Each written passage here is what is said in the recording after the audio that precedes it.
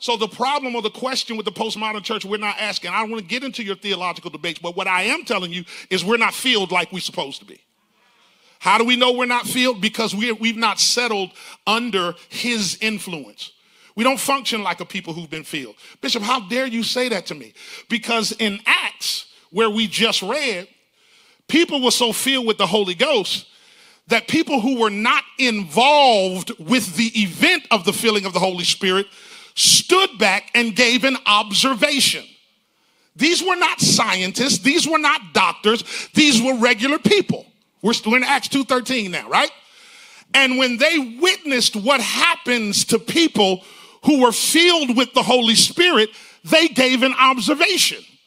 They're, the only thing they could equate the filling of the Holy Spirit in the lives of Christians to was they must be drunk.